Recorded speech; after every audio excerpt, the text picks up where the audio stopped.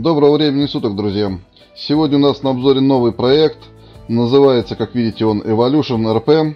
Э, располагается на базе ARM 3, но не Altis Life, как обычно, а остров Таноа. Э, остров был открыт э, абсолютно недавно, на данный момент он проходит э, обкатку, э, так сказать, открыт в режиме бета-тестирования. Каждый желающий может зайти, поиграть, оставить в Дискорде свои отзывы, ну и тому подобное. Ну и мы не будем исключением, мы тоже зайдем, посмотрим, пощупаем этот проект. С этим проектом я на самом деле уже знаком. Раньше этот проект назывался Остров Новус. Но Новус был закрыт, и вот он переродился уже с новым названием на новом острове. Давайте зайдем и посмотрим. Ну и первым делом нас встречает некое заявление на выдачу э, карты. Ну, заполняем здесь свои данные, вписываем ник, фамилию, там, в общем, все, что предложено, ничего сложного нет. Нажимаем подтвердить, все, заходим. Дальше нас встречает еще одна э, табличка, но это уже табличка подтверждения того, что мы только что заполнили. Администрация желает нам приятной игры. Замечательно. Сейчас табличка исчезнет, и мы выбираем точку появления. Так как мы только что зашли, точка появления у нас только одна – аэропорт. В дальнейшем будут несколько точек. И вот тут важный момент. Когда мы появляемся, перед нами загорается экран некого э, планшета э, с нужной информацией. Я по своей же глупости, как всегда, ничего не читаю, просто листаю и дальше прохожу. Э, настоятельно вам не рекомендую, потому что в планшете действительно очень много полезной информации. И в дальнейшем мне пришлось к нему все равно возвращаться и все по новой перечитывать. Лучше потратить 5 минут и почитать в самом начале, нежели потом э, учиться на своих ошибках. Ну и как видите, мы появились в зале ожидания аэропорта. В общем-то все, можно выходить в свет. Выходим из душного зала ожидания, и тут нас встречает вся красота острова Танова. Какие краски, сколько зелени.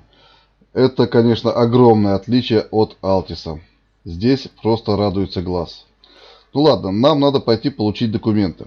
Но для начала давайте ознакомимся с картой. А карта, надо сказать, выполнена на высшем уровне качества. Не знаю и не могу вспомнить, видел ли я где-нибудь карты лучше. Также здесь полнофункциональное меню. Если вы не можете что-то найти или не знаете, где-то заблудились, э, это меню вас ткнет носом в нужную вам точку. В меню расписаны абсолютно все точки. Мало того, там присутствует функция э, визуального перенаправления. То есть, если вам что-то нужно, вы нажимаете на меню, и карта сразу же визуально вам показывает, где находится этот объект.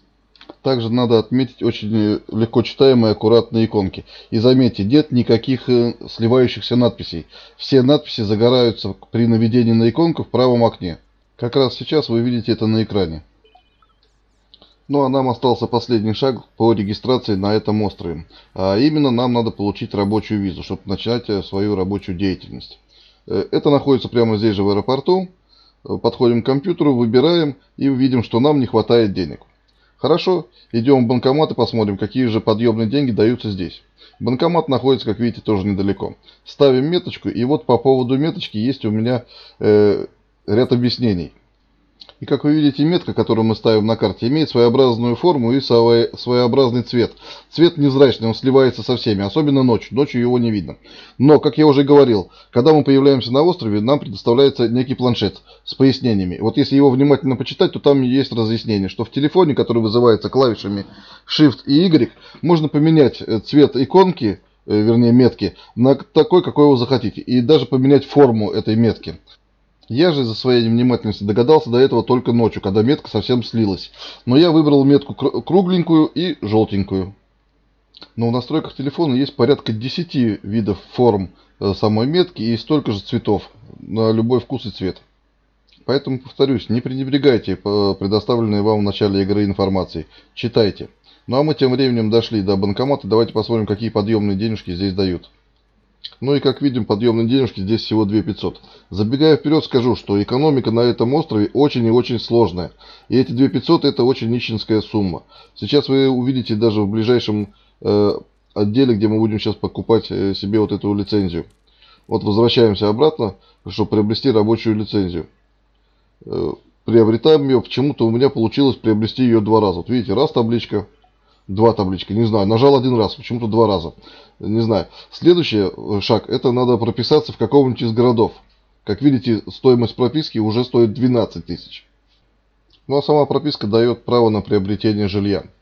Ну ладно, двигаемся дальше. А дальше, как всегда, я иду получать права. Но и тут нас ждет очень удивительная, но приятная, на мой взгляд, фишка этого острова. Получить права здесь не сводится к банальному зашел в магазин лицензии, купил себе категорию Б и С. Нет, здесь даются права так же, как и в жизни. Ну, почти так же, как и в жизни, насколько это вообще возможно приблизить э, к реальности.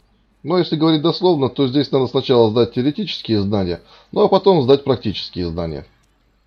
Но вот таким вот образом здесь э, выглядит экзаменационный класс. Все очень э, красиво, антуражно. Э, плакатик, кстати, был такой же и на Новусе.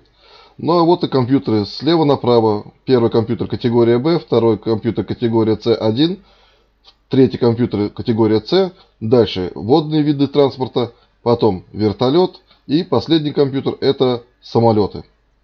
Начинаем, естественно, мы с категории B. Ну и как я говорил, практическая часть и теоретическая часть. Практическая стоит э, дороже, теоретическая дешевле. Теоретическая стоит 50 долларов. За практику надо заплатить 450.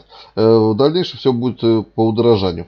Ну, читать вопросы я не буду. Вопросы на самом деле все из учебника по правилам дорожного движения.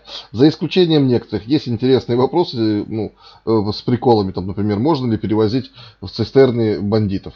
Ну, но в основном вопросы все из книжки по правилам дорожного движения. Если вы в реале имеете права, то сдать здесь вам не составит никакого труда. Ежели вы э, в силу своего возраста или по какой-то другой причине не имеете водительского удостоверения в реальности и не учили правила дорожного движения, ну что ж, интернет или мобильный телефон или планшет вам в помощь. Дальше же вас сразу же телепортируют в машину. И дальше просто надо проехать по триггерам.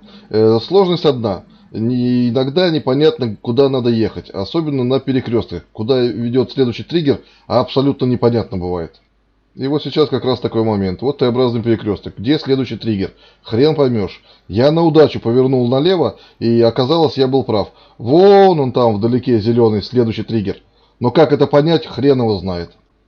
Несколько раз я пролетал мимо. Э, ну, в принципе, э, задача перед вами одна. Как можно быстрее проехать по всем триггерам. Э, если не запомнили с первого раза, то со второго точно запомните, где они находятся. Там не очень много поворотов. В общем, вот такая вот задача экзамена. Ну и таким вот образом мы разбираемся с категорией B. Переходим на категорию C1. C1 это категория грузового малотоннажного транспорта. Ну, также видим, что практическая часть, конечно, подорожала, теперь стоит уже не 500, а 800. Но вопросы все те же из книжки правил дорожного движения. Главное здесь не спешить, никакого таймера здесь нету, никто вас не гонит. Спокойненько, если чего-то не знаете, можете посмотреть э, в телефоне. В общем, главное не гнать. Вот я начал гнать и, как видите, допустил ошибочку. Э, на начальном уровне, когда вот вы только зашли и у вас мало денег, э, таких ошибок лучше не допускать. Спокойно, так размеренно, читаем, внимательно сдаем. Как я уже сказал, экономика на этом острове достаточно сложная, и заработать деньги на пересдачу не так просто. Поэтому лучше не торопиться и спокойно все сдать с первого раза. Ну а практическая часть на C1 не отличается от э, категории B ничем. Э, те же самые косяки. На поворотах непонятно, куда поворачивать надо. Э, следующий триггер, вот видите, как далеко. Вот только в этом проблема. В общем-то, но если вечером сдавать в темное время суток, то их даже еще и лучше видно, чем днем. Ну а так, в общем-то, все. Вот, не надо останавливаться, надо гнать, гнать, гнать. И если не запомнили с первого раза, ну придется повторить. Все, проехали конечный триггер, мы сдали. Далее идет категория С, это грузовой транспорт, но у нас не хватает денег. Поэтому проверяем в планшете, обязательно это надо сделать, проверить, все ли у вас зарегистрировалось. Так, у нас э, категория B, C1 есть, все. Ну и все, мы можем выходить э, в открытый мир и, так сказать, начинать э, заниматься трудовой деятельностью. И первым делом я пошел на работу почтой. Играя еще на новости, я помню, что у них была почтовая служба, называлась она UPS. Она не изменилась, как видите, UPS и здесь. И на UPS выдавали вот такие вот машинки, которые стоят за магазинами. Но они были коричневого цвета. Они-то избили меня с толку на самом деле. Я думал, что эти ребята, которые здесь бегают, как раз взяли себе заказы и поставили там свои машинки. Но оказывается нет. Машину на этом острове теперь, э, в данный момент, в э, UPS не получают. Э, то есть э, надо работать и развозить почту на своей машине. Но я этого не знал. Как видите, у почтальона теперь есть коробочка Э, выполнена она на самом деле неплохо. И впереди горит надпись «Доставьте посылку». Я с дуру-то даже пешком пошел, но включил карту, чтобы посмотреть, куда надо доставить. И понял, что туда я пешком просто никогда не дойду, блин. Таново, в отличие от Алписа или Малдена, островное государство. И здесь все связано через мосты. Естественно, даже если по прямой это не так далеко, то он пока оббегут еще через мосты, это пройдет огромное количество времени. У этих ребят я спросил, в чем причина. А тут мне объяснили, что машину здесь не выдают, работать надо только на своей машине. Пришлось выкинуть э, эту коробку, и до самой бури у меня будет на экране светиться «Доставьте посылку». Но несмотря на этот косяк с машиной, доставка почты на этом острове является очень интересной и такой уникальной.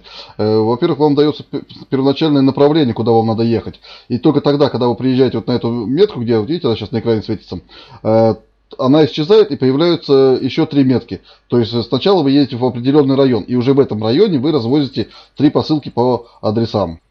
Но в дальнейшем я все подробно покажу, как это здесь работает, как это устроено. Ну а сейчас мне надо добраться до некого лагеря беженцев.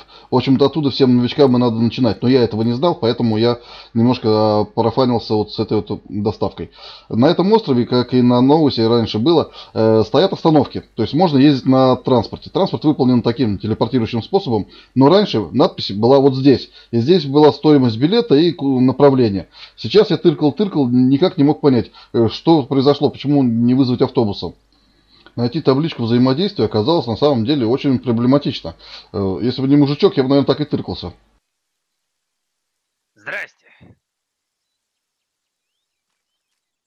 Билет? У тебя наличка есть? Снима... Ну вот, вот в столбе, в столб, в столб вставляешь? В столб вставляешь, конечно. Вставляешь кэш в стол и погнали. Ну и как вы, наверное, поняли, мужичок посоветовал мне, что надо взаимодействовать вот с этой табличкой. Ну, он выразился «в столб вставляешь». Прикольное выражение. И вот таким образом здесь сделано движение автобуса. Как бы, ну, все это, естественно, происходит э, с путем телепортации, но есть э, вот такая вот как бы загрузочка, показываем, как вы едете, куда вы едете. Э, раньше это было просто темный экран, но сейчас сделали вот так. Это на самом деле красивее гораздо. Ну вот это вот лагерь беженцев. Э, здесь и надо начинать свою карьеру на этом острове. Ну, по крайней мере, э, все так делают, и мне так посоветовали. Здесь есть два вида сбора плодов, и посередине вот здесь вот прямо стоит э, хижинка, в которую надо продавать. Выбираем плоды и идем на точку. Надо также отметить, что точки специально расположены близко друг к другу, и рядышком есть магазин. Но выдвигаемся на точку и посмотрим, как производится сбор ресурсов. Вот здесь уже собирает дяденька, и заметьте, какой огромный у него рюкзак. Я же лошара не взял вообще ничего. Пришел забирать с голыми руками. Сам же процесс сбора ресурсов здесь полностью автоматизирован. От игрока ничего не требуется. Вы заходите на триггер, э, нажимаете кнопку Windows и все. Дальше вы можете полазить в телефоне. И если там нету под рукой телефона, то здесь в игре есть планшет и тоже есть телефон. В момент процесса сбора ресурсов вы точно так же можете лазить в, во встроенном в игре планшете. Смотреть там, например, э, статистику или еще что-нибудь. Также надо сказать, что идет э, некая полоска прокачки. То есть э, здесь есть э, стадия развития. Это потом чуть-чуть поподробнее покажу. Но вот эти очки прокачки потом можно будет направлять в каком вам надо направлении. Есть три направления. Следующее. Достигнув пятого уровня, можно будет вообще не фармить. То есть подъезжать на точку, ставить машину, подходить к некой вывеске, к досочке. Если у вас есть прокачан пятый уровень, просто взаимодействовать с этой доской, и ваша машина будет автоматически сама загружаться ресурсами. Но это есть не везде, и для этого надо достигнуть пятого уровня развития. А вот что мне не понравилось, это, как вы заметили, очень и очень темные ночи. Темная ночь настолько, что не видно вообще ничего. Если, как у меня нет фонарика и ПНВ, то все игровой процесс замирает. Пришлось ждать утра, и вот утром уже подфармить себе немножко денежку, чтобы купить хотя бы рюкзак. В этом лагере беженцев есть две точки сбора плодов. Между ними стоит магазин. Но это, я так понимаю, сделано специально для новичков, чтобы быстренько бегать и продавать. Все остальные плоды, которые разбросаны по карте, находятся на огромном расстоянии от магазина. И очень неудобно. Ну вот магазин так выполнено меню магазина. И заметьте, все таблички на острове выполнены в одном стиле и в таких нежных, не надоедающих тонах. Но вот при выходе из магазина меня встретил тот самый дяденька, с которым мы ночью фармили, на которого я показывал большой рюкзак. Но он уехал раньше меня, я еще остался здесь. И вот он вернулся, чтобы помочь мне добраться до города. Заметьте, какая у него машина. Это каршеринг. На этом острове развита сеть э, каршеринговых машин. Я так понимаю, что это как раз таки и есть причина, почему на почтовой службе не выдают машины. Э, все люди берут машину в каршеринге и на ней развозят э, посылки. И этот человек тоже не исключение. Он взял машину, чтобы развозить посылки. Но пока заехал за мной, чтобы помочь и подкинуть новичка до ближайшего города. Каршеринговые станции находятся практически во всех больших городах. Оплата производится после того, как вы вернули машину в саму каршеринговую станцию. Ну а на подъезде к городу нас остановила полиция. Давайте послушаем, как здесь играют РП. Секунду, сэр. Ну, Здравствуйте. Здрасте.